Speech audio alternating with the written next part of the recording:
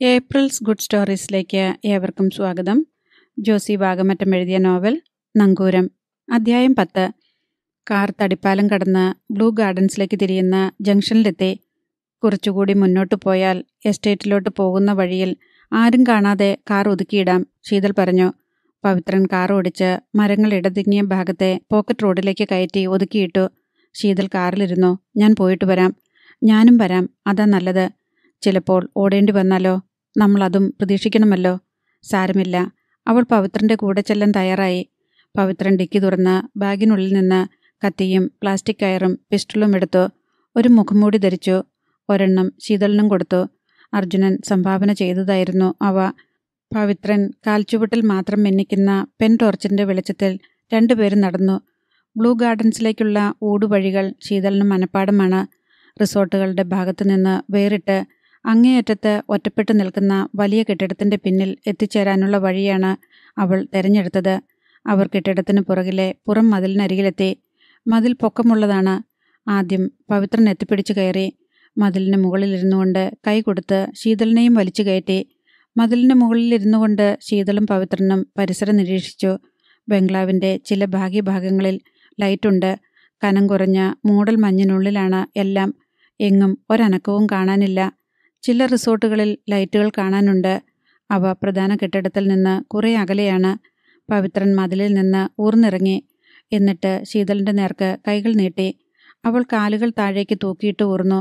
നിലത്തെത്തുന്നതിന് മുമ്പ് പവിത്രൻ അവളെ വട്ടം പിടിച്ച് താഴെ നിർത്തി. അൻപത് പാരയോളം ദൂരമുണ്ട് കെട്ടിടത്തിലേക്ക്. പവിത്രന്റെ കൈക്ക് പിടിച്ചുകൊണ്ട് ശീതൾ മുൻപേ നടന്നു. അവർ കെട്ടിടത്തിന് തൊട്ടു പിന്നിലെത്തി. മൂന്നാം നിലയുടെ മുകളിലേക്ക് പോകുന്ന ഇടുങ്ങിയ കോണിപ്പടി ശീതൾ പവിത്രന് കാട്ടിക്കൊടുത്തു. രണ്ടുപേരും അതിലൂടെ രണ്ടാമത്തെ നിലയുടെ ജനലുകളുടെ സൺഷെയ്ഡിന്റെ ലെവലിലെത്തി. പവിത്രൻ ക്ലേശിച്ച് സൺഷെയ്ഡിലേക്ക് കടന്നു. ശീതലിനെ കൈപിടിച്ച് സൺഷെയ്ഡിലേക്ക് വലിച്ചു കയറ്റി. രണ്ടുപേരും വളരെ സൂക്ഷിച്ച് പത്മനാഭക്കുറുപ്പിന്റെ ഓഫീസ് റൂമിന് മുകളിലെ സൺഷെയ്ഡ് വരെ എത്തി. പവിത്രൻ കയറൊരു പൈപ്പിൽ കെട്ടിയ ശേഷം പിന്നിലെ പാസേജിലേക്ക് തൂങ്ങിയിറങ്ങി. ശീതൽ കയറഴിച്ച് അവന്റെ കയ്യിൽ കൊടുത്തു. അനന്തരം അവൾ പവിത്രന്റെ നീട്ടിപ്പിടിച്ച കൈകളിലേക്ക് ഊർന്നു. ജനാലയ്ക്കൽ കുറച്ചു സമയം കാതോർത്ത് നിന്ന ശേഷം അവർ ഓഫീസ് റൂമിന്റെ പിൻവാതിലിന് നേർക്ക് നീങ്ങി. ശീതൾ വാതിൽ മെല്ലെ തള്ളി തുറക്കാൻ ശ്രമിച്ചു. ദീർഘകാലം തുറക്കപ്പെടാതിരുന്നതിനാൽ അതിന്റെ വിജാഗിരികൾക്കും കട്ടിളയും വാതിൽപ്പാളിയുമായി ചേരുന്ന ഭാഗത്തിനും നല്ല മുറുക്കമുണ്ടായിരുന്നു. തോൾ കൊണ്ട് അല്പാൽപമായി തള്ളിത്തള്ളി തള്ളി തുറക്കുമ്പോൾ ഇടവിട്ടിടവിട്ട് ശബ്ദമുണ്ടായി. ശീതൾ അകത്തെ ബോൾട്ട് മാറ്റിയിട്ടിരുന്നതിനാൽ അവർക്കത് തുറക്കാൻ കഴിഞ്ഞു. ഒരാൾക്ക് അകത്തേക്ക് നുഴഞ്ഞു കയറാനുള്ള വിടവുണ്ടായി കഴിഞ്ഞപ്പോൾ രണ്ടുപേരും അകത്തേക്ക് കയറി ഓഫീസ് റൂമിൽ ഇരുട്ടാണ്. പവിത്രൻ പെൻടോർച്ച് എടുത്ത് കാൽച്ചുവട്ടിൽ തെളിച്ചു. പിസ്റ്റൾ എടുത്ത് വലതു കൈയിൽ പിടിച്ചു. ഓഫീസ് റൂമിൽ ഒരു കമ്പ്യൂട്ടർ ടേബിളും അലമാരകളും ഇരിപ്പിടങ്ങളും മാത്രമേയുള്ളൂ. ഓഫീസ് റൂമിനെയും ബെഡ്റൂമിനെയും തമ്മിൽ വേർതിരിക്കുന്ന കട്ടിയുള്ളതും ധാരാളം ഞൊറിയുള്ളതുമായ ഒരു നീലക്കട്ടൻ കട്ടൻ ശീതൾ പവിത്രന് കാണിച്ചു കൊടുത്തു. അതിന് ഇരു പാളികളുണ്ട്. രണ്ടു പാളികളും ഇരുവശത്തേക്കും വകഞ്ഞു മാറ്റാവുന്നതാണ്. ശീതൾ ആ പാളികൾ വകഞ്ഞു പിടിച്ചു. പവിത്രൻ നിലത്തേക്ക് പ്രകാശിപ്പിച്ച വെളിച്ചം മെല്ലെ നീങ്ങി നീങ്ങി പത്മനാഭക്കുറുപ്പിന്റെ കട്ടിലിൽ ചെന്നു നിന്നു. കമ്പിളിക്കീഴിൽ നീണ്ടു നിവർന്നു കിടന്ന് ഉറങ്ങുകയാണ് പത്മനാഭക്കുറുപ്പ്. ശീതളും പവിത്രനും പരസ്പരം നോക്കി. ഹൃദയമിടിപ്പ് പെരുമ്പറ പോലെ മുഴങ്ങുന്നു. പവിത്രന്റെ നെറ്റിയിൽ വിയർപ്പ് പൊടിഞ്ഞു. ശീതളിന്റെ കൈകാലുകളിൽ വിറപടർന്നു. പവിത്രന് ഇത്തരം സാഹസങ്ങളൊന്നും പരിചയമില്ല. എങ്കിലും ചെയ്തേ പറ്റൂ. ചെയ്യാത്ത കൊലക്കുറ്റം ആരോപിക്കപ്പെട്ട് ജയിലിലായ രണ്ട് നിരപരാധികളുടെ ജീവൽ പ്രശ്നമാണിത്.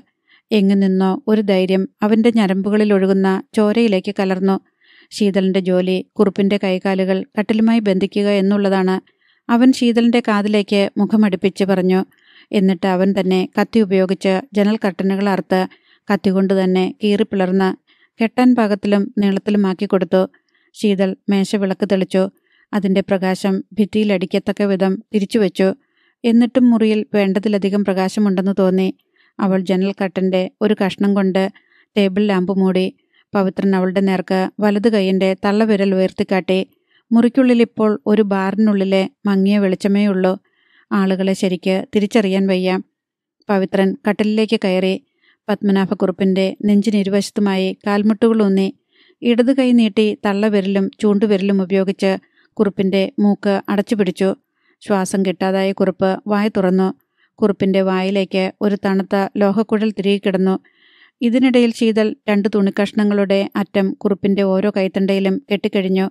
ഞെട്ടി കണ്ണു തുറന്ന കുറുപ്പ് തന്റെ നെഞ്ചിനുമീതെ ഒരു സത്വം ഇരിക്കുന്നത് കണ്ട് അലറി. പക്ഷെ പവിത്രൻ തോക്കിൻ കുഴൽ വായിലേക്ക് തള്ളി അമർത്തിപ്പിടിച്ചതിനാൽ കാളം മുക്രയിടുന്ന പോലൊരു ശബ്ദം മാത്രമേ പുറത്തു വന്നുള്ളൂ. അതേസമയം തന്നെ ശീതൾ കുറുപ്പിന്റെ രണ്ട് കൈത്തണ്ടകളിലും കെട്ടിയ തുണികളുടെ മറ്റേ അറ്റം പിടിച്ച് കുതിരയുടെ കടിഞ്ഞാൻ പോലെ കിടക്കയുടെ തലയ്ക്ക് ഭാഗത്തേക്ക് ആഞ്ഞു വലിച്ചു.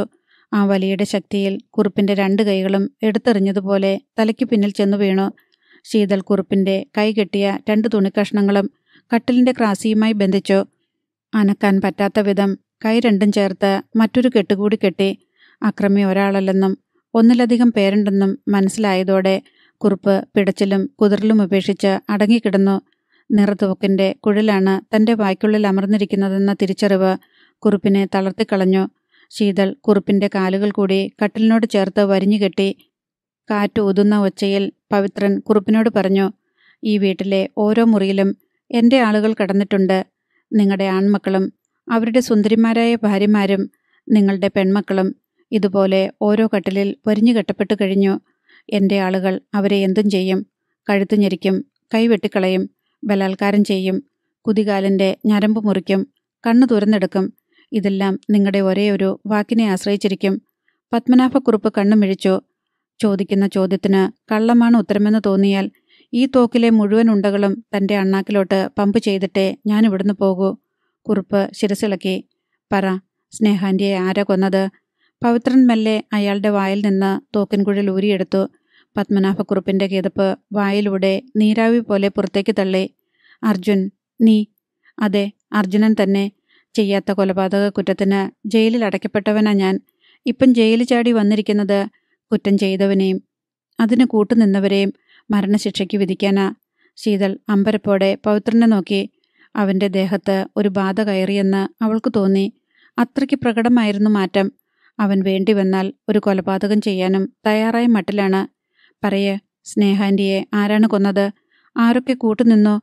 എനിക്ക് സമയം കളയുന്നത് ഇഷ്ടമല്ല. പവിത്രൻ പല്ലുകൾക്കിടയിലൂടെ ചീറി. പത്മനാഭക്കുറുപ്പ് ഭീതിയോടെ പവിത്രന്റെ മുഖംമൂടിക്കിടയിൽ കണ്ട കണ്ണുകളിലേക്ക് തുറച്ചു നോക്കിക്കൊണ്ടിരുന്നു. സ്നേഹാന്റിയെ ആരാ കൊന്നത്? പവിത്രൻ തോക്കിൻകുഴൽ കുറുപ്പിന്റെ ചുണ്ടുകളിൽ അമർത്തി മൃത്യുദേവതയുടെ ചുംബനം പോലെ അത് തണുത്തിരുന്നു. നീ നീയല്ലേ കൊന്നത്? പത്മനാഭക്കുറുപ്പിന്റെ ശബ്ദം വിറച്ചു. പ്ലേറ്റ് മറിച്ചു വെച്ച് എന്നെ പൊട്ടം കളിപ്പിക്കാനൊന്നും നോക്കണ്ട. ജീവൻ വേണമെങ്കിൽ സത്യം പറഞ്ഞോ? എനിക്കറിയില്ല അർജുന. നീ തന്നെയാണെന്ന ഞാൻ ഇതുവരെ വിചാരിച്ചോണ്ടിരുന്നേ. താനെന്താ ആളെ ഫൂളാക്കുക നോക്ക് സ്നേഹാന്റിയെ കൊന്നത് യഥാർത്ഥത്തിൽ ആരാണെന്ന് ലോകം തിരിച്ചറിയാത്തിടത്തോളം കാലം ഞാനാണ് കൊലപാതകി. ആ കുറ്റത്തിന് എനിക്ക് കിട്ടാൻ പോകുന്നത് ചിലപ്പോൾ കഴുമരമായിരിക്കും. ഒരാളെ കൊന്നാലും പത്തു പേരെ കൊന്നാലും എനിക്ക് അതിൽ കൂടുതൽ ശിക്ഷയൊന്നും വരാനില്ല. ഞാൻ പറയുന്നത് നീ വിശ്വസിക്ക അർജുന. സ്നേഹയുടെ കൊലപാതകത്തിൽ എനിക്കൊരു പങ്കുമില്ല. നിനക്കത് വിശ്വാസമാകുന്നില്ലെങ്കിൽ എന്നെ വെടിവെച്ചു കൊന്നേക്ക്. കൊല്ലുക തന്നെ ചെയ്യും. സംശയിക്കണ്ട. പവിത്രൻ തോക്കിൻകുഴൽ അയാളുടെ ചുണ്ടിൽ നിന്നും എടുത്ത് നെറ്റിയിൽ മുട്ടിച്ചു. അര മിനിറ്റ് സമയം തരാം തന്റെ മരണപ്രാർത്ഥനയ്ക്ക്. പവിത്രൻ കടപ്പല്ല് ഞെരിച്ചു. ഒന്ന് രണ്ട് മൂന്ന് നാല് പവിത്രൻ എണ്ണി തുടങ്ങി. എണ്ണം മുന്നോട്ട് പോകും തോറും പത്മനാഭക്കുറുപ്പിന്റെ നെറ്റിയിൽ തോക്കിൻകുഴൽ കൂടുതൽ അമർന്നുകൊണ്ടിരുന്നു. ഇരുപത് കഴിഞ്ഞപ്പോഴേക്കും കുറുപ്പിന്റെ ശരീരം പൂക്കില പോലെ വിറയ്ക്കാൻ തുടങ്ങി. ഇരുപത്തഞ്ച് ഇരുപത്താറ് ഇരുപത്തേഴ്.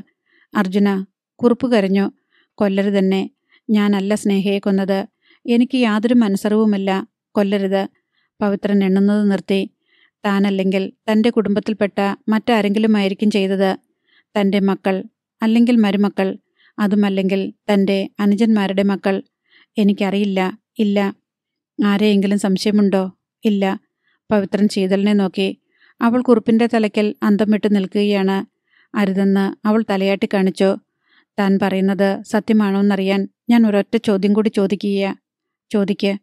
പതിനാലാമത്തെ വയസ്സിൽ സ്നേഹാന്റി പ്രസവിച്ച കുഞ്ഞ് എവിടെ? പത്മനാഭക്കുറുപ്പ് ശ്വാസമടക്കി. കണ്ണു മിഴിക്കണ്ട പറഞ്ഞോ ആ കുട്ടിയെ കാസർഗോഡുള്ള സേവാ സദനത്തിൽ എത്തിച്ചു കൊടുത്തു എന്നത് സത്യമാണോ? അതെ. പിന്നീടതിന് എന്തു സംഭവിച്ചു? ആ കുഞ്ഞ് മരിച്ചുപോയി. കള്ളം പറയരുത്. ഒരവസരം കൂടി തരികയെ ഞാൻ. കുഞ്ഞിനെ താൻ എന്തു ചെയ്തു? ഞാൻ സത്യമാ പറഞ്ഞത്. അതിപ്പോൾ ജീവിച്ചിരിപ്പില്ല. എങ്ങനെ മരിച്ചു? അതിനെ കടലിൽ എറിഞ്ഞു കൊന്നു. ഇത്തവണ പവിത്രനാണ് ഞെട്ടിയത്. ആരു കൊന്നു? എത്ര വയസ്സുള്ളപ്പോൾ? പത്മനാഭക്കുറുപ്പ് പ്രാണഭയത്തോടെ ആ സംഭവം വിവരിച്ചു. സ്നേഹപ്രഭ പ്രസവിച്ച കുട്ടിയെ ആദ്യം കാസർകോട്ടെ സേവാസദനത്തിലാണ് എത്തിച്ചത്. പക്ഷേ പിന്നീട് കുറുപ്പിന് തോന്നി. ആ കുട്ടി ജീവനോടിരിക്കുന്നത് സ്നേഹപ്രഭയുടെയും തങ്ങളുടെയും കുടുംബത്തിന് ഭീഷണിയാണെന്ന് അതിനെ ഇല്ലായ്മ ചെയ്യാൻ തന്നെ അയാൾ തീരുമാനിച്ചു. അതിനുവേണ്ടി ഒരു പദ്ധതി തയ്യാറാക്കി.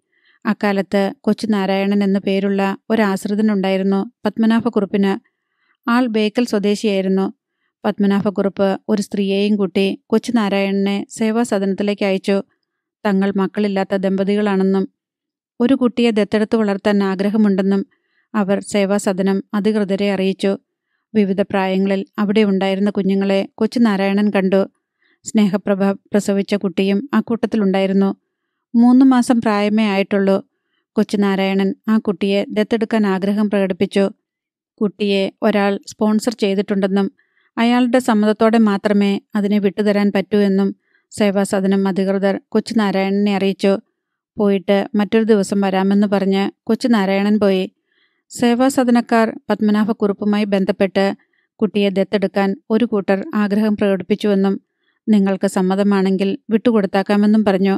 മുൻകൂട്ടി പ്ലാൻ ചെയ്തതനുസരിച്ച് പത്മനാഭക്കുറുപ്പും കൊച്ചുനാരായണനും സേവാസദനത്തിൽ വെച്ച് കൂടിക്കാഴ്ച നടത്തി. സ്വന്തം കുഞ്ഞിനെ പോലെ സംരക്ഷിക്കാമെന്ന് ഉറപ്പു തന്നാൽ കുട്ടിയെ വിട്ടുതരാൻ താൻ സന്നദ്ധമാണെന്ന് കുറിപ്പ് കൊച്ചുനാരായണനെ അറിയിച്ചു. പക്ഷേ ഒരു കാര്യം കുട്ടിയെ സംബന്ധിച്ച വിവരങ്ങൾ ഇടയ്ക്കിടെ പത്മനാഭക്കുറിപ്പിനെ അറിയിച്ചുകൊണ്ടിരിക്കണം.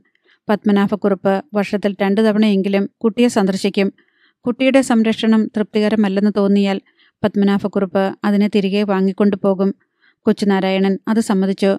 പത്മനാഭക്കുറുപ്പും കൊച്ചുനാരായണൻ കൂടി നടത്തിയ കപട നാടകമാണ് ഇതെന്ന് അറിയാതെ സേവാസദനം അധികൃതർ കുട്ടിയെ കൊച്ചുനാരായണന് കൈമാറി. ആരും അറിയാതെ ഒരു സംശയത്തിനും ഇട നൽകാതെ കുഞ്ഞിനെ കൊല്ലണമെന്നായിരുന്നു പത്മനാഭക്കുറുപ്പ് കൊച്ചുനാരായണന് നൽകിയ നിർദ്ദേശം.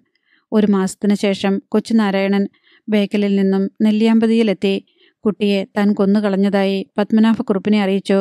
കുട്ടിയെ ഒരു പെട്ടിക്കുള്ളിൽ അടക്കം ചെയ്ത് പെട്ടിയോടൊപ്പം ഭാരമുള്ള ഒരു കല്ലും വെച്ച് വരിഞ്ഞുകെട്ടി കടലിൽ കൊണ്ടുപോയി കളഞ്ഞുവെന്നാണ് കൊച്ചുനാരായണൻ പറഞ്ഞത്. സംശയനിവൃത്തി വരുത്താനായി പത്മനാഭക്കുറുപ്പ് ബേക്കലിലെത്തി അന്വേഷിച്ചു. സംഭവ ദിവസം കൊച്ചുനാരായണൻ ഒരു ബോട്ട് വാടകയ്ക്കെടുത്ത് പുറംകടലിൽ പോയി എന്നും കുഞ്ഞിനെ അടക്കം ചെയ്ത പെട്ടി കടലിൽ താഴ്ത്തിയെന്നും പത്മനാഭക്കുറുപ്പിന് വ്യക്തമായ തെളിവുകൾ കിട്ടി. കുറുപ്പ് സമാധാനത്തോടെ മടങ്ങിപ്പോന്നു. എഞ്ചിൻ ഘടിപ്പിച്ച ഒരു മീൻപിടുത്ത വള്ളം സ്വന്തമായി വേണമെന്നത് കൊച്ചുനാരായണന്റെ എക്കാലത്തെയും വലിയ ആഗ്രഹമായിരുന്നു. സ്നേഹപ്രഭയുടെ കുഞ്ഞിനെ കൊന്നതിന്റെ പ്രതിഫലമായി പത്മനാഭക്കുറുപ്പ് കൊച്ചുനാരായണന്റെ ആഗ്രഹം സാധിച്ചു കൊടുത്തു. കൊച്ചുനാരായണൻ ബോട്ടിൽ കൊണ്ടുപോയി പുറംകടലിൽ താഴ്ത്തിയ പെട്ടിക്കുള്ളിൽ സ്നേഹാന്റിയുടെ കുട്ടി തന്നെയാണ് ഉണ്ടായിരുന്നത് എന്ന കാര്യത്തിൽ എന്താ ഉറപ്പ്? പവിത്രന്റെ ചോദ്യം കേട്ട് കുറുപ്പ് അവന്റെ കണ്ണുകളിലേക്ക് തുറച്ചു നോക്കി. ആ പെട്ടിക്കുള്ളിൽ ഒരു കുട്ടി ഉണ്ടായിരുന്നു എന്നുള്ളതിന് എന്തെങ്കിലും തെളിവുണ്ടോ? കൊച്ചുനാരായണന് എന്നോട് കള്ളം പറയേണ്ട കാര്യമില്ല. ആ ബോട്ട് പുറംകടലിലേക്ക് ഓടിച്ചുകൊണ്ടുപോയ ആളെ കണ്ട് ഞാൻ സംസാരിച്ചു. അയാൾക്കും അറിയാമായിരുന്നു കൊച്ചുനാരായണൻ എന്താണ് ചെയ്യാൻ പോകുന്നതെന്ന്? കനത്ത തുക പ്രതിഫലം വാങ്ങിക്കൊണ്ടാണ് അയാൾ കൊച്ചുനാരായണന്റെ ക്രൂരതയ്ക്ക് കൂട്ടുനിന്നത്. ചെയ്ത ജോലിയുടെ ഗൗരവവുമായി തട്ടിച്ചു നോക്കുമ്പോൾ കിട്ടിയ പ്രതിഫലം ഒന്നുമായില്ലെന്ന് അയാൾ എന്നോട് തർക്കിക്കുകയും ചെയ്തു. എന്ന് മാത്രമല്ല പിന്നീടാരും ആ കുഞ്ഞിനെ ജീവനോടെ കണ്ടിട്ടുമില്ല. ആ കുഞ്ഞിനെയല്ലേ ഏഴു വർഷത്തിനു ശേഷം സ്നേഹാന്റെ കണ്ണൂർ കടപ്പുറത്ത് നിന്ന് എടുത്തു വളർത്തിയത്? അല്ല അങ്ങനൊരു സംശയം എനിക്കുമുണ്ടായിരുന്നു. അവളുടെ കുട്ടിയാണോ എന്നറിയാൻ ഞാൻ ചില അന്വേഷണങ്ങളൊക്കെ നടത്തി. തലശ്ശേരിയിൽ നിന്നും ആയിക്കര കടപ്പുറത്ത് വന്ന് താമസിച്ച ഒരു സ്ത്രീയുടെ കുട്ടിയാണെന്ന് എനിക്ക് വ്യക്തമായ വിവരം കിട്ടി. അതൊരു വേശ്യാസ്ത്രീയായിരുന്നുവെന്നും കണ്ണൂരെത്തി ഒന്നോ രണ്ടോ വർഷത്തിനുള്ളിൽ കൊല്ലപ്പെട്ടുവെന്നും അറിഞ്ഞു. ഒരു രാത്രി പുലർന്നപ്പോൾ ആരോ കഴുത്ത് ഞെരിച്ച് കൊലപ്പെടുത്തിയ നിലയിൽ അവരുടെ ശരീരം കടപ്പുറത്ത് കിടന്നു. കൊച്ചുനാരായണൻ ഇപ്പോൾ എവിടെയുണ്ട്? ഇപ്പോഴില്ല. എന്ത് സംഭവിച്ചു? അവൻ എഞ്ചിൻ ഘടിപ്പിച്ച വള്ളം സ്വന്തമാക്കി ഒരു വർഷത്തിനുള്ളിൽ പുറംകടലിൽ വെച്ച് വള്ളം മുങ്ങി മരിച്ചു. കടൽക്ഷോഭത്തിൽപ്പെട്ട് അവന്റെ വള്ളം തകരുകയായിരുന്നു. അവന്റെ ശവം പോലും കണ്ടുകിട്ടിയില്ല. പത്മനാഭക്കുറിപ്പ് പറഞ്ഞു നിർത്തി. ഒരു കുഞ്ഞിനെ ജീവനോടെ കടലിൽ കെട്ടിത്താഴ്ത്തി നിഷ്ഠൂരമായി കൊലപ്പെടുത്തിയ തന്നെ ഈ നിമിഷം വെടിവെച്ചു കൊല്ലുകയാ വേണ്ടത്. ഞാനല്ല കൊച്ചുനാരായണനെ കൊന്നത്. താൻ ആവശ്യപ്പെട്ടിട്ടല്ലേ? താൻ പണം കൊടുത്ത് ചെയ്യിച്ചതല്ലേ? അന്ന് അതൊരു അത്യാവശ്യമായിരുന്നു. ഒരു കുടുംബത്തിന്റെ മാനം കാക്കാൻ വേണ്ടി. മാനം പവിത്രൻ അയാളുടെ നെഞ്ചത്തു നിന്നും എഴുന്നേറ്റു. ഇനി അയാളിൽ നിന്ന് ഒന്നും കിട്ടാനില്ലെന്ന് അവന് തോന്നി. ഈ പറഞ്ഞതിൽ ഒരു വാക്കെങ്കിലും കളവാണെന്ന് തെളിഞ്ഞാൽ പിന്നെ ഒരു വരവും കൂടി ഞാൻ ഇങ്ങോട്ട് വരും. അന്നായിരിക്കും നമ്മൾ തമ്മിലുള്ള അവസാനത്തെ കൂടിക്കാഴ്ച. പിന്നെ താനുണ്ടാവില്ല ജീവനോടെ. ഞാനിവിടെ വന്ന വിവരം പോലീസിൽ അറിയിച്ചാലും അതുതന്നെയായിരിക്കും ഫലം. പവിത്രൻ അയാളുടെ വായിലേക്ക് അല്പം തുണി തിരികിയ ശേഷം വായ് മൂടി. അവിടെ കിടന്നു? രാവിലെ ആരെങ്കിലും വന്ന് കാണുന്നതുവരെ പവിത്രൻ ശീതളിനെയും കൂട്ടി കുറിപ്പിന്റെ ഓഫീസ് റൂമിലേക്ക് പോയി. വീട്ടിനുള്ളിൽ നിന്ന് ഓഫീസ് റൂമിലേക്ക് കടക്കാനുള്ള വാതിലിന്റെ ബോൾട്ടുകൾ മാറ്റിയിട്ടു. അതിനുശേഷം പിന്നാമ്പുറത്തെ പാസേജിലേക്ക് ഇറങ്ങി. വാതിൽ ചാരി അവർ കയറി വന്ന അതേ മാർഗത്തിൽ കൂടി തന്നെ തിരികെ താഴെ ഇറങ്ങി. പിന്നാമ്പുറത്തുകൂടി മതിൽ കിടന്ന് അവർ കാർ ഒളിപ്പിച്ചിട്ടിരുന്ന സ്ഥലത്തെത്തി. പവിത്രൻ കാറിൽ കയറി സ്റ്റാർട്ട് ചെയ്തു. അധ്യായം പതിനൊന്ന്. സോണി കിടക്കയിലിരിക്കുകയാണ് സമയം രാത്രി ഒന്നര മണിയായി. അർജുനൻ സെൽഫോണും കയ്യിൽ പിടിച്ചുകൊണ്ട് മുറിയിലൂടെ നടക്കുകയാണ്. കൂട്ടിലടച്ച വന്യമൃഗത്തെ പോലെ ഇതിപ്പോൾ എത്ര കിലോമീറ്ററായി? നേരെ നടന്നിരുന്നെങ്കിൽ ഇപ്പോൾ പാലക്കാട്ടെത്തിയനെ. ഒരിടത്ത് അടങ്ങിയിരിക്കരുതോ? സോണി ചോദിച്ചു. എന്റെ നെഞ്ചിലെ പരവേശം എത്രയാണെന്ന് നിനക്കറിയാമോ? എത്രയാ? ശീതളും പവിത്രനും എവിടെ എത്തിയെന്നറിയാതെ മനസ്സമാധാനമില്ല. അവരുടെ പദ്ധതി പരാജയപ്പെട്ടാൽ അവർ പോലീസിലെങ്ങാനും കുടുങ്ങിയാൽ പിന്നെ നമ്മളാരും ജീവിച്ചിരുന്നിട്ട് കാര്യമില്ല. ഇങ്ങനെ നടന്ന അതിന് പരിഹാരമാകുമോ?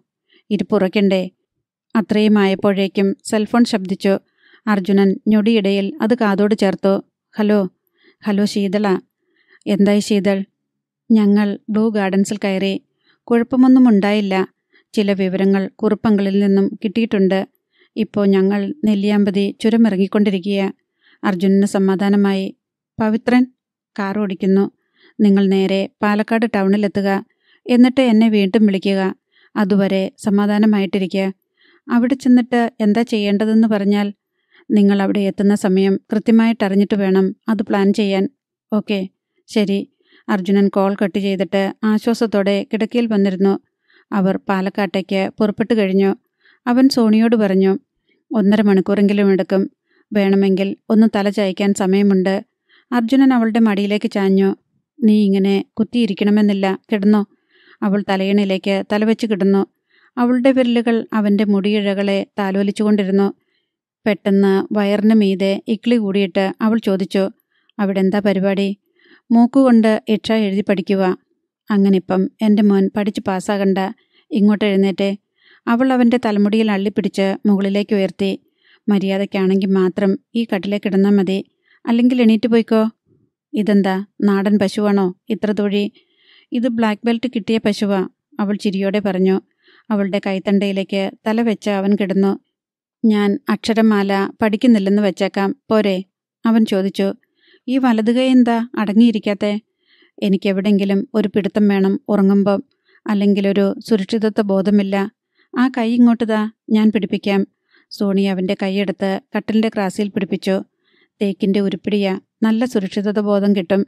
ഓ അല്ലെങ്കിലും ഇതിനേക്കാൾ ഭേദം അതുതന്നെയാ അവൻ പിറുപിറുത്തു. തൊടാതെയും പിടിക്കാതെയും കിടക്കാൻ പറ്റുമെങ്കിൽ എന്റെ കൂടെ കിടന്നാൽ മതി. കെട്ടിപ്പിടിക്കാനും പറ്റില്ലേ? കെട്ടിപ്പിടിക്കാം പക്ഷെ കൈ അടങ്ങിയിരിക്കണം. തലോടുന്നതുകൊണ്ട് എന്താ കുഴപ്പം? തലോടലല്ലോ നുഴഞ്ഞു കയറ്റമല്ലേ? ശരി നുഴഞ്ഞു കയറുന്നില്ല. സ്നേഹം കൂടുമ്പം ഓരോ ഉമ്മ തരാമല്ലോ അതിലൊരു തെറ്റുമില്ലല്ലോ. നെറ്റിയിലും കണ്ണിലും മാത്രം. ബാക്കിയെല്ലാം പ്രോഹിബിറ്റഡ് ഏരിയയാണോ അതെ എന്നിട്ട് എപ്പോഴും അങ്ങനെയല്ലല്ലോ. അതൊക്കെ സമയഭേദം അനുസരിച്ച് മാറി വരും. രാത്രിയിൽ ഒന്നിച്ച് ഒരേ കിടക്കയിൽ കിടക്കുമ്പം ചില നിയന്ത്രണങ്ങളൊക്കെ പാലിച്ചേ പറ്റൂ. പകലത്തെ കെട്ടിപ്പിടുത്തവും സ്നേഹവും ഉമ്മയൊക്കെ കാണുമ്പോൾ തോന്നുമല്ലോ ആലുവ ശിവരാത്രിയാ വരാൻ പോണതെന്ന് കൊതിപ്പിച്ച് കൊതിപ്പിച്ച് കൂടെ നിർത്തിയിട്ട് രാത്രിയാകുമ്പം ഓന്തിന്റെ നിറം മാറുന്ന പോലൊരു മാറ്റം. പെണ്ണുങ്ങളെല്ലാം ഇങ്ങനാണോ? അത് ശരി. അപ്പോൾ മുൻപും അബദ്ധം പറ്റിയിട്ടുണ്ട് ഇല്ലേ? ഉണ്ടടി. ഒന്നല്ല ഒരുപാട് തവണ അബദ്ധം പറ്റിയിട്ടുണ്ട്. അരിശം പിടിച്ച് അർജുനൻ കിടക്കയിൽ നിന്നും എഴുന്നേറ്റു. അവളുടെ തലയ്ക്കടിയിൽ നിന്ന് തലയണ വലിച്ചെടുത്ത് പുതുക്കാനിട്ടിരുന്ന ഷീറ്റും എടുത്തു ഈ വീട്ടിൽ വേറെ നല്ല ഒന്നാന്തര മുറിയും കട്ടിലുമുണ്ട്. അർജുനൻ വാതിൽക്കലേക്ക് നടന്നു. ടാർസൻ പിണങ്ങിപ്പോവുകയാണോ ഇങ്ങുവാ വികൃതിയൊന്നും കാണിക്കാതിരിക്കുവാണെങ്കിൽ. നിന്റെ ഔദാര്യമൊന്നും വേണ്ടെനിക്ക് അവൻ പുറത്തു കിടന്ന് വാതിലടച്ചു. അടുത്ത മുറിയിലെത്തി കട്ടിലിൽ ഷീറ്റ് വിരിച്ച് അതിൽ കിടന്നു. ഒന്ന് മയങ്ങി വരുമ്പോഴേക്കും ശീതളിന്റെ ഫോൺ കോൾ അവനെ ഉണർത്തി. ഹലോ ശീതൾ അവൻ ഫോൺ അറ്റൻഡ് ചെയ്തു. ഞങ്ങൾ പാലക്കാട് ടൗണിന്റെ ഔട്ടറിലെത്തി. പൗത്രന്റെ കയ്യിൽ കൊടുക്ക. കൊടുക്കാം. പവിത്രൻ ലൈനിൽ വന്നു. ഹലോ അർജുനൻ. പവിത്ര നീ കാറുമായി നേരെ ഒലവക്കോട് സ്റ്റേഷനിലെത്തണം നിങ്ങൾ രണ്ടുപേരും കാറിൽ നിന്നിറങ്ങി ടിക്കറ്റ് കൗണ്ടറിൽ ചെല്ലുന്നു. ഇപ്പോൾ സമയം മൂന്ന് മണി. നാലേകാൽ മണിക്കുള്ള ചെന്നൈ മംഗലാപുരം മെയിലിന് രണ്ട് ടിക്കറ്റ് എടുക്കുന്നു.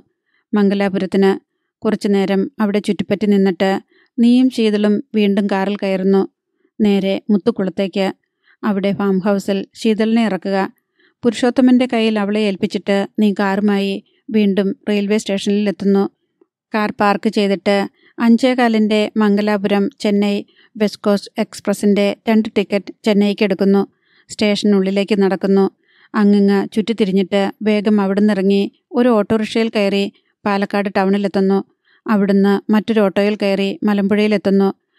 അവിടെ ഇറങ്ങിയ ശേഷം നടന്ന് നേരം വെളുക്കും മുമ്പ് മുത്തുക്കുളത്തെ ഫാം ഹൗസിൽ ചെന്നു ചേരുന്നു പകൽ മുഴുവൻ അവിടെ ഒളിച്ചു കഴിയുന്നു.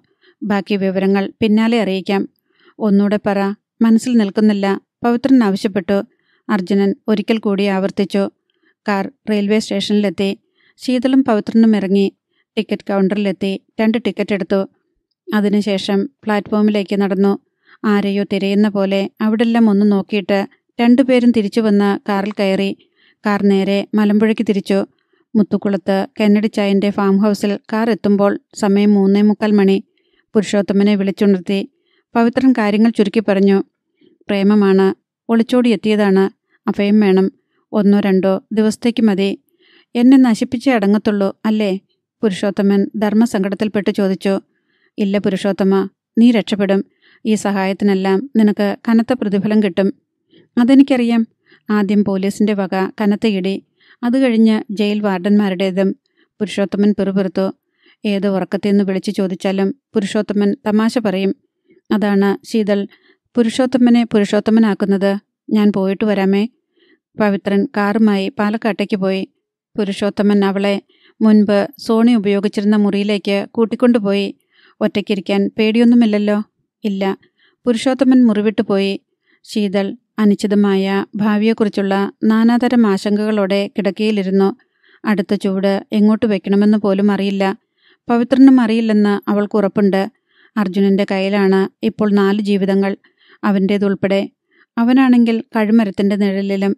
ശീതൾ ദീർഘനിശ്വാസമെടുത്തു പവിത്രൻ റെയിൽവേ സ്റ്റേഷനിലെത്തി. കാർ പാർക്ക് ചെയ്തു. ടിക്കറ്റ് കൗണ്ടറിൽ ചെന്ന് മംഗലാപുരം ചെന്നൈ വെസ്റ്റ് കോസ്റ്റ് എക്സ്പ്രസിന്റെ രണ്ട് ചെന്നൈ ടിക്കറ്റ് എടുത്തു. സമയം നാലര മണി. പവിത്രൻ റെയിൽവേ സ്റ്റേഷനിൽ നിന്നും ഇറങ്ങി ഓട്ടോ പിടിച്ച് ടൗണിലേക്ക്. ടൗണിലിറങ്ങി അടുത്ത ഓട്ടോ സ്റ്റാൻഡിലെത്തി. ഓട്ടോയിൽ കയറി മലമ്പുഴയിലേക്ക്. അവിടുന്ന് മുത്തുക്കുളത്തേക്ക് നടക്കുന്നതിനിടയിൽ കയ്യിൽ കരുതിയിരുന്ന ശീതലിന്റെ ഫോണിൽ നിന്ന് അർജുനെ വിളിച്ച് ഇതുവരെ കാര്യങ്ങളെല്ലാം ഭംഗിയായി നടന്നുവെന്ന് അറിയിച്ചു. നേരം പുലരും മുൻപേ പവിത്രൻ ഫാം ഹൗസിലെത്തി. ശീതൾ പവിത്രൻ എത്തുന്നതും കാത്തിരിപ്പുണ്ട്. എല്ലാം ഒരു കുഴപ്പവും കൂടാതെ നടന്നു. പവിത്രൻ അവളെ അറിയിച്ചു. ശീതളിന് അല്പം ആശ്വാസമായി. എല്ലാം അർജുനനെ അറിയിച്ചു. ഇനി ഞാനൊന്ന് കുളിക്കട്ടെ. നടന്നു വീർത്തു. പവിത്രൻ കുളിമുറിയിലേക്ക് കയറി. അവൻ തിരിച്ചു വന്നപ്പോഴും ശീതൾ കിടക്കയിൽ അതേപടി ഇരിക്കുകയാണ്. കിടക്കുന്നില്ലേ? രണ്ടു പേർക്കും ഒന്നിച്ചു ഉറങ്ങാൻ പറ്റില്ലെന്നല്ലേ ഉള്ളൂ. ഒരാൾ ഉറങ്ങുമ്പോൾ മറ്റേയാൾ ജാഗ്രതയോടെ ഇരിക്കണം. പവിത്രൻ കട്ടിലിലിരുന്നു. കിടന്നു? ഞാൻ ഉണർന്നിരിക്കാം. പവിത്രൻ അവളുടെ തോളത്ത് പിടിച്ച് കിടക്കയിലേക്ക് ചായച്ചു. അവളുടെ ശിരസിൽ തഴുകിക്കൊണ്ട് അവൻ അരികെ തന്നെ ഇരുന്നു. ഇടയ്ക്ക് അവൾ കൺപോളകൾ ഉയർത്തി അവനെ നോക്കി. അവൻ കുനിഞ്ഞ് അവളുടെ നെറ്റിയിൽ ചുംബിച്ചിട്ട് മന്ത്രിച്ചു. ഒന്നും ആലോചിക്കണ്ട ഉറങ്ങിക്കോ. അവൻ അവളുടെ കവിളത്ത് വിരലുകളാൽ മൃദുവായി തട്ടി ശീതൾ കണ്ണുകൾ പൂട്ടി. നേരം പുലർന്നതേയുള്ളൂ. കടുത്ത തണുപ്പും മഞ്ഞുമുള്ള രാത്രിയായിരുന്നതിനാൽ അല്പം വൈകിയാണ് പത്മപ്രഭ ഉണർന്നത്. അവർ കോണിപ്പടി ഇറങ്ങി താഴെ എത്തിയപ്പോൾ കാഞ്ചന ഹാളിൽ ഇരിപ്പുണ്ട്. ജാനകി വന്നില്ല ചേച്ചി. ചായ തനിയെ ഉണ്ടാക്കണോ? കുറച്ചു സമയം കൂടി നോക്കാം. ശീതൽ എണീറ്റില്ലേ? ഇല്ലെന്ന് തോന്നുന്നു. അവർ സംസാരിച്ചു നിൽക്കെ വാഹനങ്ങളുടെ ഇരമ്പൽ ബംഗ്ലാവിന്റെ മുൻപിൽ നിന്ന് കേട്ടു. ആരാ ഇത്ര രാവിലെ? പത്മപ്രഭയും കാഞ്ചനയും പൂമുഖത്തേക്ക് ചെന്നു. ഗേറ്റ് കടന്നു വന്ന പോലീസ് ജീപ്പ് മുറ്റത്തു നിന്നു. പിന്നാലെ വന്ന കെന്നഡിച്ചായന്റെ കാറും മുറ്റത്തെത്തി. പോലീസുകാർ ജീപ്പിൽ നിന്ന് ചാടിയിറങ്ങുന്നു. എസ് ഐയും സി ഐയും മാത്രമല്ല വനിതാ പോലീസുമുണ്ട്.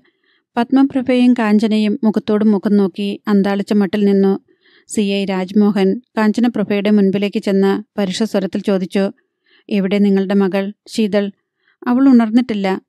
വിളിക്ക്. എന്താ കാര്യം? കാര്യം എന്താണെന്നൊക്കെ ഞങ്ങൾ അവളോട് പറഞ്ഞോളാം.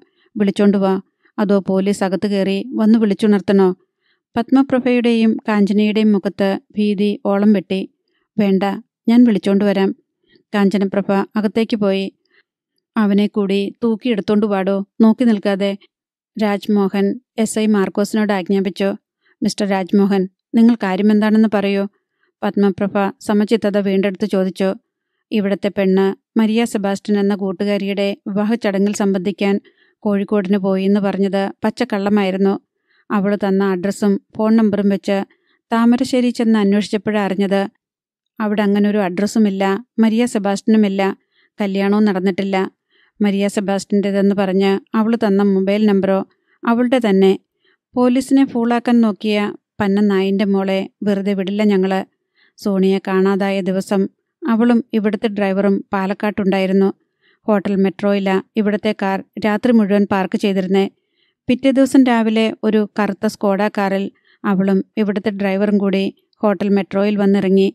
ആ കാർ ഓടിച്ചിരുന്നവനോടൊപ്പം ഒരു യുവതിയും ഉണ്ടായിരുന്നു അത് സോണിയായിരുന്നോ എന്ന് പോലീസിന് ബലമായി സംശയമുണ്ട്. ഒരു കാര്യം നിങ്ങൾ ഉറപ്പിച്ചോ? സോണിയെ കാണാതായതിൽ നിങ്ങളുടെ അനുജത്തിയുടെ മകൾക്കും സാരമായ പങ്കുണ്ട്. സി ഐ മീശ പിരിച്ചു. നിങ്ങൾ ഈ പറയുന്നതൊന്നും ഞാൻ വിശ്വസിക്കില്ല പത്മപ്രഭ പറഞ്ഞു. വിശ്വസിപ്പിക്കാം. അവൾ ഇങ്ങോട്ട് വരട്ടെ. നായിന്റെ മോൾ തത്ത പറയുന്ന പോലെ പറയുമ്പം നിങ്ങൾ വിശ്വസിച്ചോളും. ഇതിനിടയിൽ കാർ ഷെഡിൽ പോയ എസ് ഐ തിരിച്ചെത്തി. അയാൾ ഇവിടില്ല സാർ. കാറുമില്ല. എവിടെ പോയി അവൻ? സി ഐ പത്മപ്രഭയുടെ നേർക്ക് തട്ടിക്കയറി. ഇത്ര രാവിലെ കാറുമായി എങ്ങോട്ടാ അയച്ചത്? പത്മപ്രഭ കണ്ണു മിഴിച്ചു. ഞങ്ങൾ എങ്ങോട്ടും അയച്ചിട്ടില്ല. അപ്പോൾ അകത്തു നിന്ന് ഒരു നിലവിളി കേട്ടു. ചേച്ചി പത്മപ്രഭ ഞെട്ടിത്തിരിഞ്ഞു. കാഞ്ചന ഒരു കടലാസും കയ്യിൽ പിടിച്ച് പാഞ്ഞു വരുന്നുണ്ടായിരുന്നു. ചേച്ചി ഇത് കണ്ടോ? എന്റെ മോൾ അവൾ അവന്റെ കൂടെ. ഈശ്വര കാഞ്ചന പൊട്ടിക്കരഞ്ഞു. പത്മപ്രഭ കാഞ്ചനയുടെ കയ്യിൽ നിന്ന് കത്ത് വാങ്ങി വായിച്ചു. അവർ സ്തംഭിച്ചു നിന്നു. സി. ഐ. രാജ്മോഹൻ കത്ത് പിടിച്ചെടുത്തു. അത് വായിച്ചു നോക്കി. അയാളും നിമിഷങ്ങളോളം സ്തബ്ധനായി നിന്നുപോയി. പെട്ടെന്ന് ബോധോദയമുണ്ടായതുപോലെ അയാൾ വെട്ടിത്തിരിഞ്ഞ് എസ്. ഐയോട് പറഞ്ഞു. അവനും അവളും കൂടി കടന്നു കളഞ്ഞു. എല്ലാ സ്റ്റേഷനിലേക്കും മെസ്സേജ് കൊടുത്തേക്ക്. വേഗം വേണം. കാറിന്റെ നിറവും രജിസ്ട്രേഷൻ നമ്പറും പാലക്കാട് ബസ് സ്റ്റാൻഡുകളിലും റെയിൽവേ സ്റ്റേഷനിലും ഉടൻ തന്നെ വിളിച്ചു പറഞ്ഞേക്ക്. രക്ഷപ്പെടാൻ അനുവദിക്കരുത് രണ്ടുപേരെയും.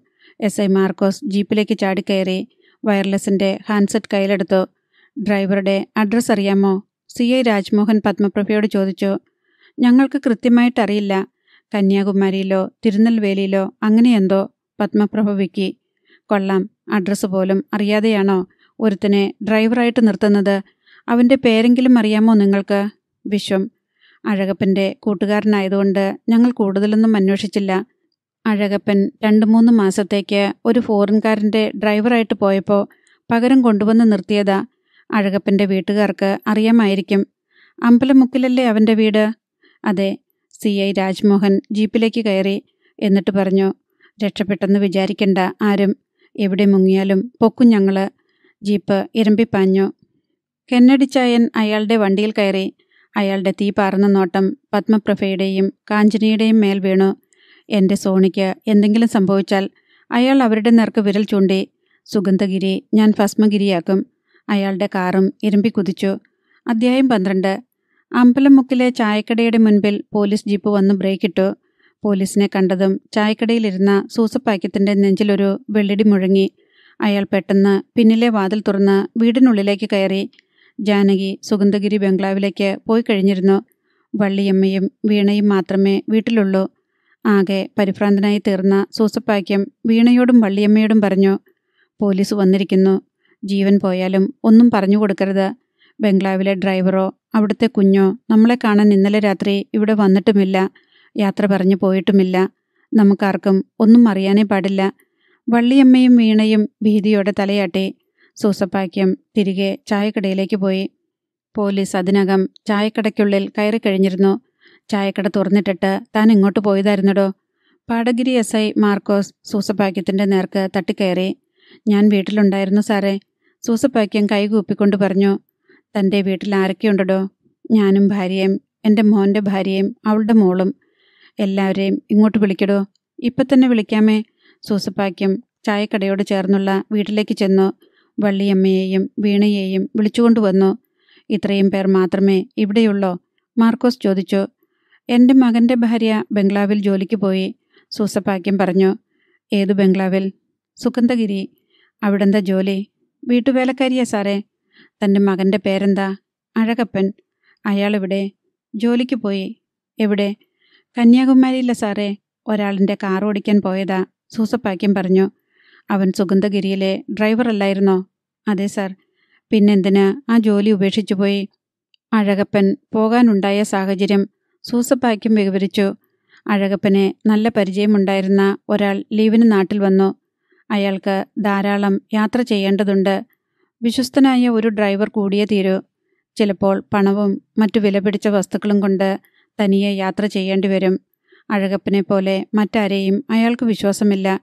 അയാളുടെ നിർബന്ധം സഹിക്കവയ്യാതെ അഴകപ്പൻ ബംഗ്ലാവിൽ ചെന്ന് അനുമതി തേടി. ബംഗ്ലാവിലേക്ക് പകരം ഡ്രൈവറെ ഏർപ്പാടാക്കിയിട്ട് പോയിക്കൊള്ളാൻ പത്മപ്രഭ അനുവാദം നൽകി. മൂന്ന് മാസത്തേക്കേ ഉള്ളൂവെന്നും അത് കഴിഞ്ഞാൽ താൻ തിരിച്ചെത്തുമെന്നും അഴകപ്പൻ ഉറപ്പു നൽകിയതിനാലാണ് അവനെ വിട്ടയച്ചത്. ഇനിയും മൂന്ന് മാസം തികഞ്ഞിട്ടില്ല. തികയുമ്പോൾ അവൻ തിരിച്ചെത്തും. കന്യാകുമാരിയിൽ എവിടെയാണ് അഴകപ്പൻ താമസിക്കുന്നത്? അറിഞ്ഞുകൂടാ സർ. അവൻ ഇടയ്ക്കിടയ്ക്ക് വരും. എപ്പോഴും യാത്രയാണെന്നാ പറഞ്ഞത്. യാത്രക്കിടയിൽ ഏതെങ്കിലുമൊക്കെ ഹോട്ടലിലാണ് താമസിക്കാറുള്ളതെന്ന് പറഞ്ഞു. അവൻ എന്നാണ് ഒടുവിൽ ഇവിടെ വന്നത്? മൂന്നാഴ്ച മുൻപ് ഒരു രാത്രിയിൽ വന്നു. ഒരു കാറില്ല വന്നത്. മുതലാളിയുടെ കാറാണ്. മുതലാളി പാലക്കാട്ട് ഹോട്ടലിൽ തങ്ങിയിട്ടുണ്ട്. നാളെ രാവിലെ കോയമ്പത്തൂർ പോവുകയാണ് എന്ന് പറഞ്ഞു. കുറച്ച് പണം തന്നു. വെളുപ്പിന് അവൻ തിരിച്ചുപോയി ഇനി അവൻ എന്നാണ് വരുന്നതെന്നറിയാമോ? ഒരു വാരത്തിനുള്ളിൽ വരും സാർ.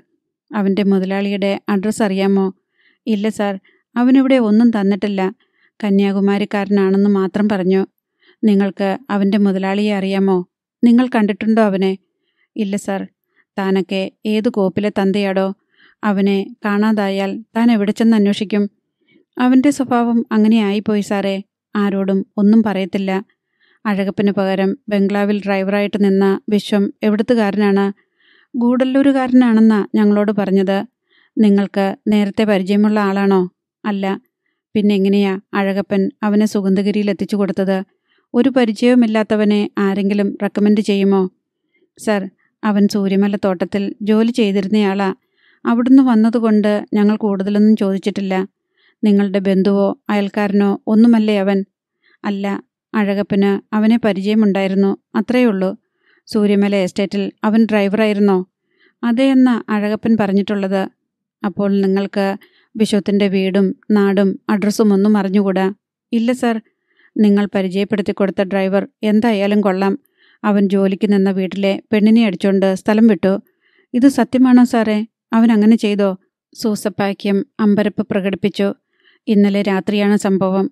കാഞ്ചനപ്രഭയുടെ മകൾ ശീതളിനെയും കൊണ്ട് അവൻ നാടുവിട്ട് പോയിരിക്കുന്നത്.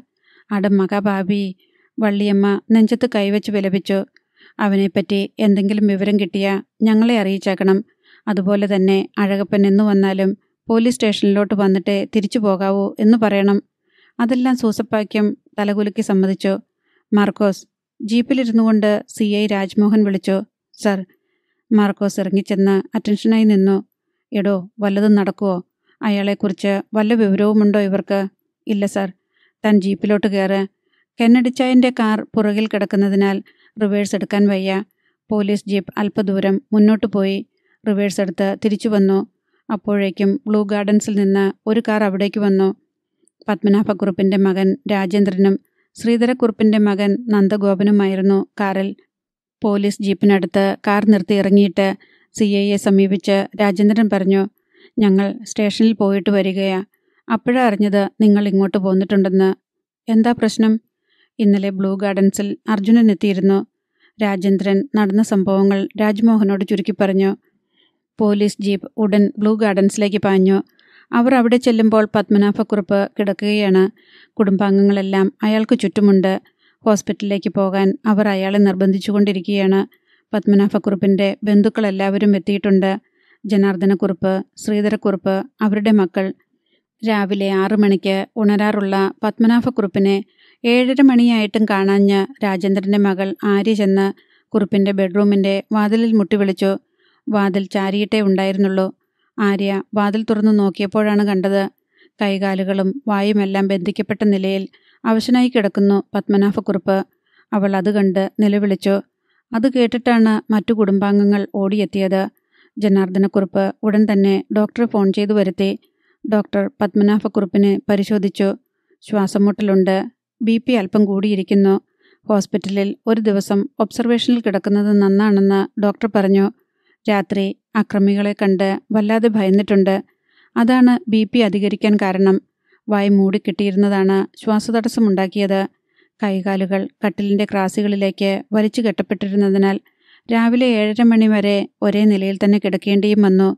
അതും ആയാസത്തിന് കാരണമായി. പക്ഷേ കുറുപ്പ് ഹോസ്പിറ്റലിലേക്ക് പോകാൻ കൂട്ടാക്കിയില്ല. പോലീസുകാർ നിങ്ങൾക്ക് സ്വൈര്യം തരുമെന്ന് വിചാരിക്കണ്ട. ഡോക്ടർ മുന്നറിയിപ്പ് നൽകി. അത് സത്യമായിരുന്നു. സി ഐ രാജ്മോഹനും എസ് ഐ മാർക്കോസും ചേർന്ന് പത്മനാഭക്കുറിപ്പിൽ നിന്ന് തെളിവെടുപ്പ് ആരംഭിച്ചു. ആരാണ് വന്നത്?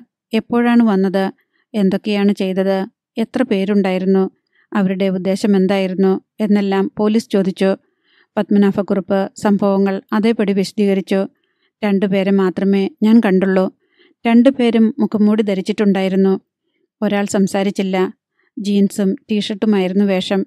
ഒരു കമ്പിളി ഷാൾ കൊണ്ട് ഉടൽ പുതച്ച് കഴുത്തിൽ ചുറ്റിക്കെട്ടിയിരുന്നു. അതൊരു സ്ത്രീയാണെന്ന് എനിക്ക് തോന്നി. വെയിറ്റ് സ്ത്രീയോ? വെളിച്ചക്കുറവുണ്ടായിരുന്നു. അവർ റൂമിലെ ലൈറ്റ് ഇട്ടില്ല. എന്നാലും കൈത്തണ്ടയും കണ്ണും നെറ്റിയുമൊക്കെ കണ്ടപ്പോൾ അങ്ങനെയൊരു സംശയം തോന്നി. മറ്റേയാൾ അർജുനനാണെന്ന് ഉറപ്പാണോ? മുഖം മൂടി ഉണ്ടായിരുന്നതുകൊണ്ടും വെളിച്ചമില്ലാതിരുന്നതുകൊണ്ടും തീർത്തു പറയാൻ വയ്യ. അർജുനനാണെന്നുള്ള മട്ടില്ല അവൻ സംസാരിച്ചത്. തീരെ പതുക്കെയായിരുന്നതുകൊണ്ട് ശബ്ദം കൊണ്ട് തിരിച്ചറിയാൻ പറ്റിയില്ല. അവന്റെ ഉദ്ദേശം എന്തായിരുന്നു? സ്നേഹപ്രഭയെ കൊന്നത് ഞാനല്ലേ എന്ന് ചോദിച്ചു. അവന്റെ കയ്യിലൊരു റിവോൾവർ ഉണ്ടായിരുന്നു. അതിന്റെ നെറ്റിയിൽ അമർത്തി പിടിച്ചുകൊണ്ട് സത്യം പറഞ്ഞില്ലെങ്കിൽ കൊന്നുകളയുമെന്ന് ഭീഷണിപ്പെടുത്തി ഞാൻ അവനോട് ചോദിച്ചു നീ തന്നെയല്ലേ സ്നേഹയെ കൊന്നതെന്ന്? അവനത് സമ്മതിച്ചില്ല. ഞാനും എന്റെ കുടുംബക്കാരും ചേർന്നാണ് സ്നേഹയെ വകവരുത്തിയതെന്ന് അവൻ കരുതുന്നുണ്ടെന്ന് തോന്നി. എന്ന് വെച്ചാൽ അതിനർത്ഥം സ്നേഹപ്രഭയെ കൊലപ്പെടുത്തിയത് അവനല്ലെന്നാണോ? ആ മട്ടിലാണ് അവൻ സംസാരിച്ചത്. മറ്റെന്തെങ്കിലും അവൻ പറഞ്ഞോ? സ്നേഹപ്രഭയുടെ കുഞ്ഞിനെപ്പറ്റി അവൻ ചോദിച്ചത് സി ഐയുടെ അടുത്ത് പറയണോ വേണ്ടയോ എന്ന് പത്മനാഭ പത്മനാഭക്കുറുപ്പ് സംശയിച്ചു. പറഞ്ഞാൽ കുടുംബത്തിന് ദുഷ്പേരാകും എന്ന് തോന്നിയിട്ട് അയാൾ അത് പറയേണ്ടെന്ന് വെച്ചു. മാത്രമല്ല സ്നേഹയുടെ കുട്ടിയെ കൊലപ്പെടുത്തിയതും മറ്റും ചിലപ്പോൾ വെളിച്ചത്ത് വരികയും ചെയ്തേക്കാം. ഇതല്ലാതെ വേറൊന്നും അവൻ ചോദിച്ചില്ല. പോലീസിൽ അറിയിച്ചാൽ കൊന്നുകളയുമെന്ന് ഭീഷണിപ്പെടുത്തി. സ്നേഹപ്രഭയുടെ കൊലപാതകത്തിൽ എനിക്കോ എന്റെ അനുജന്മാർക്കോ അവരുടെ മക്കൾക്കോ പങ്കുണ്ടെങ്കിൽ അവരെയും വകവരുത്തുമെന്ന് പറഞ്ഞു. ചിലപ്പോൾ സ്നേഹപ്രഭയെ കൊന്നത് താനല്ലെന്ന് നിങ്ങളുടെ മുൻപിൽ വരുത്തി തീർക്കാനുള്ള ഒരഭ്യാസമായിരുന്നിരിക്കും അവന്റേത് സി. ഐ. രാജ്മോഹൻ പറഞ്ഞു. അക്രമികൾ വീടിനുള്ളിലേക്ക് പ്രവേശിച്ച മാർഗം ഏതെന്ന് പോലീസ് പരിശോധിച്ചു. കുറിപ്പിന്റെ ഓഫീസ് റൂമും അതിനു പിന്നിലെ വാതിലും ജനാലകളും പാസേജുമെല്ലാം പരിശോധന വിധേയമാക്കി രാവിലെ ഓഫീസ് റൂമിന്റെ പിൻവാതിൽ ചാരിയിട്ടിരിക്കുന്ന നിലയിൽ കണ്ടുവെന്ന് രാജേന്ദ്രന്റെ മകൾ ആര്യ പോലീസിനോട് പറഞ്ഞു ആ വാതിൽ ഒരിക്കലും തുറക്കാറുള്ളതല്ല. പോലീസ് നടത്തിയ പരിശോധനയിൽ ആ വാതിൽ തുറന്നാണ് അക്രമികൾ അകത്ത് കയറിയതെന്ന് തെളിഞ്ഞു. അവർ ഇറങ്ങിപ്പോയതും അതുവഴി തന്നെയെന്ന് മനസ്സിലായി. പാസേജിലും പുറമേയുള്ള സ്റ്റെയർ കേസിലും അവ്യക്തമായ കാൽപ്പാടുകളുണ്ടായിരുന്നു ബ്ലൂ ഗാർഡൻസിന്റെ പിന്നിലെ മതിലിൽ ഒരു ഭാഗത്ത് പായൽ ഇളകിയിരിക്കുന്നതും പോലീസിന്റെ കണ്ണിൽപ്പെട്ടു. അതോടെ ഏതു വഴിയാണ് അക്രമികൾ വന്നതെന്നും അകത്തു കടന്നതെന്നും വ്യക്തമായി. പക്ഷേ ഓഫീസ് റൂമിന്റെ പിൻവാതിൽ എങ്ങനെ അക്രമികൾ തുറന്നു എന്ന സംഗതി മാത്രം നിഗൂഢമായി അവശേഷിച്ചു. പുറമേ നിൽക്കുന്നവർക്ക് യാതൊരു കാരണവശാലും അത് തുറക്കാൻ പറ്റില്ല. നിങ്ങളാരെങ്കിലും കഴിഞ്ഞ ദിവസങ്ങളിൽ ഈ വാതിൽ തുറക്കുകയോ ബോൾട്ട് മാറ്റുകയോ ചെയ്തിരുന്നോ? ഇല്ല അത് തുറക്കാറേയില്ല ആര്യയും രാജേന്ദ്രനും കുറുപ്പും ഒരേ സ്വരത്തിൽ പറഞ്ഞു പുറമേ നിന്ന് തുറക്കാൻ പറ്റില്ലെന്ന് ഉറപ്പായ സ്ഥിതിക്ക് ഇനിയൊരു സാധ്യതയെ കാണുന്നുള്ളൂ. ഒന്നുകിൽ ഈ വീട്ടിലുള്ള ആരെങ്കിലും ഇന്നലെ രാത്രി അർജുനന് വാതിൽ തുറന്നു കൊടുത്തിട്ടുണ്ട്. അതല്ലെങ്കിൽ അവൻ ഇന്നലെ രാത്രി വരുമെന്നറിയാവുന്ന ആരോ ഇന്നലെ രാത്രിയിലോ പകലോ ആ വാതിലിന്റെ ബോൾട്ട് എടുത്തു വച്ചിട്ടുണ്ടാകണം സി ഐ രാജ്മോഹൻ പറഞ്ഞു അവനോട് അടുപ്പമോ അനുഭവമോ ഉള്ള ഒരു മനുഷ്യൻ പോലും ഈ വീട്ടിലില്ല. ഞങ്ങളെല്ലാം ഒരേപോലെ അവനെ വെറുക്കുന്നു. പത്മനാഭക്കുറുപ്പ് അസന്നിഗ്ധമായി പറഞ്ഞു കഴിഞ്ഞ ദിവസങ്ങളിൽ അർജുനോട് അടുപ്പമുള്ള ആരെങ്കിലും ഇവിടെ വന്നിരുന്നോ? അർജുനനോട് താല്പര്യമുള്ള ആരും വന്നതായിട്ട് ഓർക്കുന്നില്ല. ഇന്നലെ സുഗന്ധഗിരിയിൽ ശീതൾ ഇവിടെ വന്നിട്ടുണ്ടായിരുന്നു ആര്യ പറഞ്ഞു. സി. ഐ. രാജ്മോഹന്റെ തലച്ചോറിൽ ഒരു വെളിച്ചം മിന്നി. എന്തിനു വന്നു? എപ്പോൾ വന്നു? ഇന്നലെ വൈകുന്നേരം അവൾ ഈ വീട്ടിനുള്ളിലൊക്കെ കയറി നടന്നോ? ഉവ്വ് ഓഫീസ് റൂമിലും അച്ഛന്റെ ബെഡ്റൂമിലും കയറി. ഇടയ്ക്ക് അവരുടെ കാർ ഡ്രൈവറെ വിളിച്ച് എന്തൊക്കെയോ എടുത്തുകൊണ്ട് വരാൻ പറഞ്ഞു. അയാളും വീട്ടിനുള്ളിൽ കയറി വന്നു. ആര്യ അതെല്ലാം വിശദമായി പറഞ്ഞു. രണ്ടോ മൂന്നോ തവണ ശീതൾ ഡ്രൈവറെ അകത്തേക്ക് വിളിപ്പിച്ചുവെന്ന് അവൾ മൊഴി നൽകി. ശീതൾ ഇവിടെ ഫ്രീക്വന്റ് വിസിറ്ററൊന്നുമല്ലല്ലോ ആണോ? രാജ്മോഹൻ സംശയത്തോടെ ചോദിച്ചു. അല്ല ഇന്നലത്തെ അവളുടെ വരവിന്റെ ഉദ്ദേശം എന്തായിരുന്നു? ഒരു ജോലിക്ക് വേണ്ടി റിക്വസ്റ്റ് ചെയ്യാൻ വന്നതാണെന്ന് എന്നോട് പറഞ്ഞത്. വീട്ടിലിരുന്ന് അവൾക്ക് ബോറടിച്ചു. സുഗന്ധഗിരി ഗ്രൂപ്പിൽ എന്തെങ്കിലും ഒരു ജോലി തരപ്പെടുത്തി കൊടുക്കണമെന്ന് പറഞ്ഞു. ശ്രമിക്കാമെന്ന് ഞാനും പറഞ്ഞു. ഇന്നലെ രാത്രി ഡ്രൈവറുടെ കൂടെ ഒളിച്ചോടാൻ തീരുമാനിച്ചവൾ വൈകുന്നേരം വന്ന് ജോലി വേണമെന്ന് പറഞ്ഞതിൽ ഒരു പൊരുത്തക്കേടുണ്ടല്ലോ. ഡ്രൈവറുടെ കൂടെ ഒളിച്ചോടുകയോ? പത്മനാഭക്കുറുപ്പ് ഇതുവരെയും സംഭവം അറിഞ്ഞിട്ടില്ല. അതെ ഇന്നലെ രാത്രി ശീതൾ അവരുടെ ഡ്രൈവറോടൊപ്പം ആരും അറിയാതെ സ്ഥലം വിട്ടു. സുഗന്ധഗിരിയിലുണ്ടായിരുന്ന ഒരു കാറും കൊണ്ടുപോയി. കുറുപ്പിന്റെ വായ് തുറന്ന പടി തന്നെ ഇരുന്നു. ഒളിച്ചോടിയതാണെന്ന് എങ്ങനെ അറിഞ്ഞു? അയാൾ ശ്വാസം എടുത്തിട്ട് ചോദിച്ചു. ഒരു കത്തെഴുതി വെച്ചിട്ട അവൾ പോയത്. എങ്കിൽ ഇതിലൊരു വലിയ ഗൂഢാലോചന നടന്നിട്ടുണ്ട്. അർജുനനും ആ ഒളിച്ചോട്ടത്തിൽ പങ്കുണ്ടെന്ന് തീർച്ചയാ പത്മനാഭക്കുറുപ്പ് പറഞ്ഞു. എസ് ഐ മാർക്കോസും സി ഐ രാജ്മോഹനും എ എസ് ഐ രവികുമാറും കന്നഡി ചായനും പത്മനാഭക്കുറുപ്പും കൂടി അടിയന്തരമായി ആ വിഷയം ചർച്ച ചെയ്തു. ഒടുവിൽ സി ഐ രാജ്മോഹൻ പറഞ്ഞു ഇപ്പോൾ ഒരു കാര്യം വ്യക്തമായി. സോണിയെ കാണാതായതിൽ ശീതളിനും അവളുടെ ഡ്രൈവർക്കും പങ്കുണ്ട്. അവർക്ക് രണ്ടുപേർക്കും അർജുനനുമായും ഗൂഢബന്ധങ്ങളുണ്ട്. മരിയ സെബാസ്റ്റ്യൻ എന്ന കൂട്ടുകാരിയുടെ വിവാഹത്തിന് എന്ന് പറഞ്ഞ് വീട്ടിൽ നിന്ന് പോയ അവർ ഹോട്ടലിൽ കാർ പാർക്ക് ചെയ്തിട്ട് പാലക്കാട് റെയിൽവേ സ്റ്റേഷനിൽ നിന്ന് സോണിയെ റാഞ്ചിയെടുത്തു. ഒടുവിൽ പോലീസ് അന്വേഷണം വരികയും പിടിക്കപ്പെടുമെന്ന് ഉറപ്പാവുകയും ചെയ്തപ്പോൾ പോലീസിനെ തെറ്റിദ്ധരിപ്പിച്ച് രക്ഷപ്പെടാൻ വേണ്ടി കത്തെഴുതി വെച്ച് സ്ഥലം വിട്ടു. പോകുന്നതിന് മുൻപ് അർജുനെ സഹായിക്കാൻ വേണ്ടി രണ്ടുപേരും ഇന്നലെ ഇവിടെ വന്ന് കുറുപ്പ് സാറിന്റെ ഓഫീസ് റൂമിന്റെ പിൻവാതിലിലെ ബോൾട്ട് മാറ്റിയിട്ടു. രാത്രി അർജുനൻ ഇവിടെ എത്തി കുറുപ്പ് സാറിനെ ഭീഷണിപ്പെടുത്തിയ ശേഷം അവൻ ശീതളിനെയും ഡ്രൈവറെയും കൂട്ടി സ്ഥലം വിട്ടു. ഇത്രയുമാണ് സംഭവിച്ചിരിക്കാൻ സാധ്യത. പക്ഷേ ഒരു പ്രശ്നം മനസ്സിലാകാതെ ശേഷിക്കുന്നുണ്ട് പത്മനാഭക്കുറുപ്പ് പറഞ്ഞു എന്തുകൊണ്ട് ശീതളും ഡ്രൈവറും അർജുനെ സഹായിക്കാൻ തുനിഞ്ഞിറങ്ങി? അയാൾ കൊലപാതക കേസിൽ കുടുങ്ങി ജയിലിൽ അടയ്ക്കപ്പെട്ടവനും ജയിൽ ചാടിയവനുമാണെന്ന് അവർക്ക് രണ്ടുപേർക്കും അറിയാം. അവനെ സഹായിക്കുന്നത് തങ്ങളുടെ ഭാവി നശിപ്പിക്കുന്നതിന് തുല്യമാണെന്ന് മനസ്സിലാക്കാനുള്ള ബുദ്ധി ശീതളിനെങ്കിലും ഉണ്ടാവും. അറിഞ്ഞുകൊണ്ട് ആരെങ്കിലും തീക്കനൽ ഉള്ളം കയ്യിലെടുത്ത് വയ്ക്കുമോ? ശീതളും അർജുനനും തമ്മിൽ ഒരു രഹസ്യബന്ധം പണ്ട് തന്നെ ഉണ്ടായിരുന്നെങ്കിലോ? അങ്ങനെയൊരു സാധ്യതയില്ലേ? ഡ്രൈവറെ പണം കാട്ടി പ്രലോഭിപ്പിച്ചതായിരിക്കാം. എസ് ഐ മാർക്കോസ് സംശയമുന്നയിച്ചു എന്തായാലും ഉടനടി നമ്മൾ ഉണർന്നു പ്രവർത്തിച്ചേ പറ്റൂ. സി ഐ രാജ്മോഹൻ ജാഗരൂകനായി പോലീസ് നായയെ കൊണ്ടുവന്ന് പരിശോധന നടത്തണം. അയാൾ രണ്ടും കൽപ്പിച്ച മട്ടിൽ എഴുന്നേറ്റു.